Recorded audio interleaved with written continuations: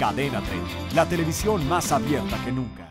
Oye, ayer le contaba que el alcalde, el alcalde, de Acapulco, Luis Walton, se desdijo de los comentarios que había hecho en torno a los hechos de violencia en los que fueron violadas seis ciudadanas españolas. Esta mañana, con la voz entrecortada y con lágrimas en los ojos, este alcalde pidió ayuda al presidente Peña Nieto para reforzar la seguridad y recuperar la imagen que tiene ese destino turístico. Miren nada más. Aquí vuelvo a insistir públicamente y me dirijo al presidente de la República, Peña Nieto.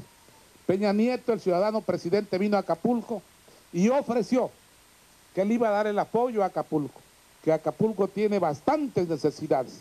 El día de hoy no hemos visto el apoyo del presidente de la República y le estamos exigiendo que regrese a ver Acapulco, que también es parte de la República y que queremos el apoyo para todos los acapulqueños. Muchas gracias.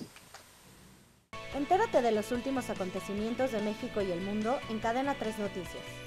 Síguenos en Facebook como Cadena 3, en Twitter como arroba cadena 3-mx y suscríbete a nuestro canal de YouTube Cadena 3 Noticias e infórmate de los videos que a ti te interesan. ¿Quieres ver más?